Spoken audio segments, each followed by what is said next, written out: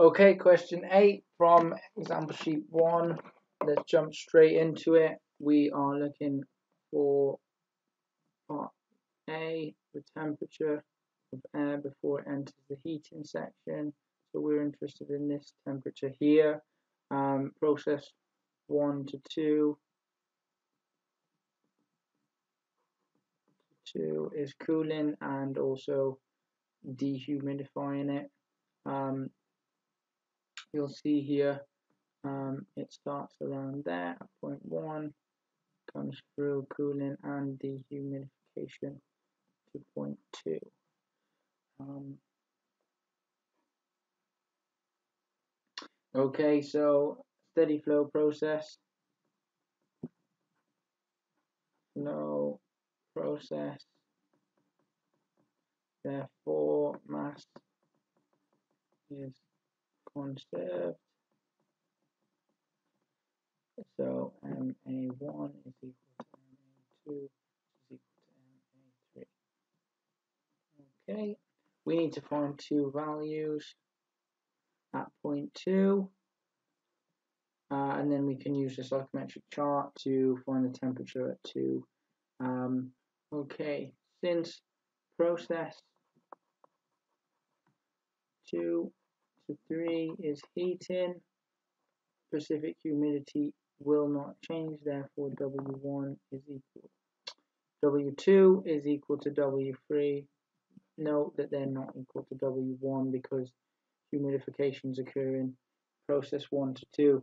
Okay, we can quite easily find, because we've got two values here, we're able to use chart A31 and find W3, which is equal to W2, as we said, and we find that to be equal to 8.4. So we've got one value at 0.2 now. Okay, so we need to find a second value at 0.2. And at 2, we know, since condensation will have occurred due to cooling, air at 0.2 is saturated, or relative humidity is equal to 100%. So therefore, at 0.2, we know relative humidity is equal to 100%. So therefore, we've got two values. So hence, it's easy to use chart. We've got this value here, and we've got the value of W2. Hence, using chart A31, um, you can determine that temperature is 11.25 degrees C prior to entering the, the cooling section.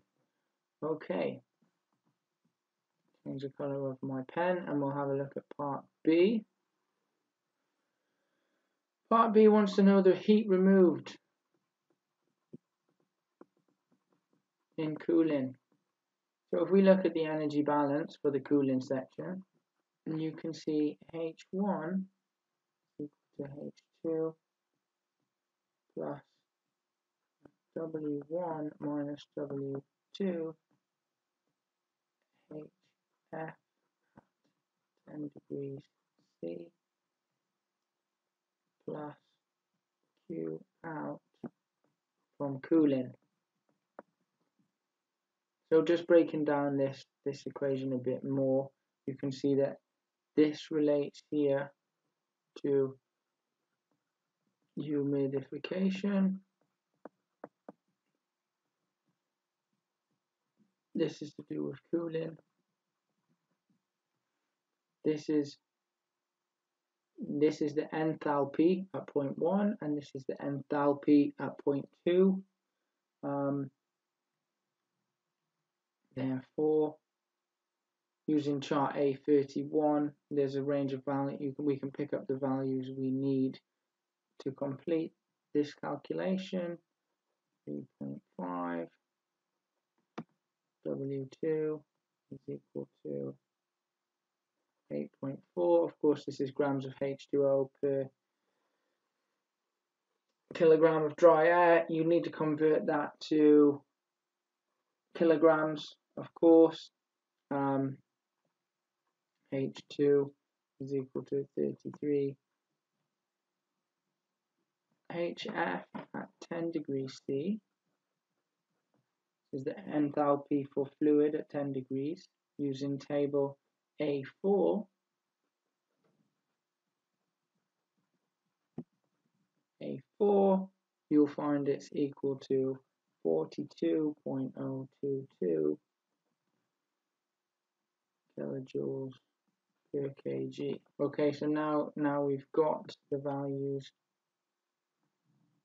that we need. We have H1, we have H2, we have W1, W2, and HF. We can find Q cooling. Hence, we just need to rearrange this equation here. Um, and what you'll find is, and you find the answer, Q out through cooling to be equal to 61.36 kilojoules per kg dry air. Okay, considering part C, this is very straightforward.